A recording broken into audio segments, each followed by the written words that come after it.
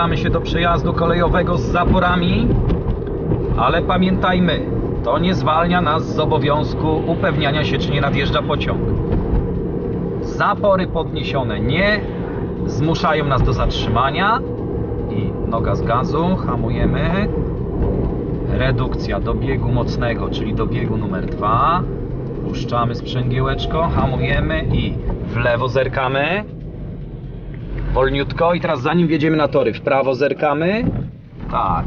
I po upewnieniu, czy nie nadjeżdża pociąg, jedziemy. Pamiętajmy, podniesione zapory nie są gwarancją bezpiecznego przejazdu. Zawsze dróżnik może leżeć pijany pod stołem i nie opuścić zapór w porę. I przejazd kolejowy bez zapór. Popatrzmy, krzyż świętego Andrzeja, nadjeżdża pociąg? Nie nadjeżdża. Czyli będziemy zatrzymywać się nie przed krzyżem, tylko w miejscu dostatecznej widoczności. Ciach. Stoimy, tak. Z prawej mamy widoczność, z lewej mamy widoczność. Jedziemy.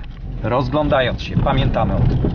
I popatrzmy, znak ostrzegawczy o przejeździe kolejowym bez zapór, tak?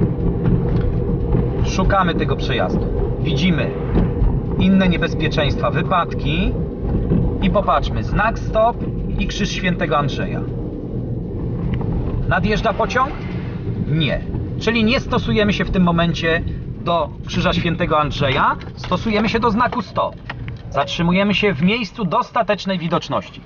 Obserwujemy, z prawej nie ma nikogo pociągu, z lewej nie ma pociągu, czyli miejsce dobre i rozglądając się na boki przejeżdżamy przez przejazd. Tak, dokładnie.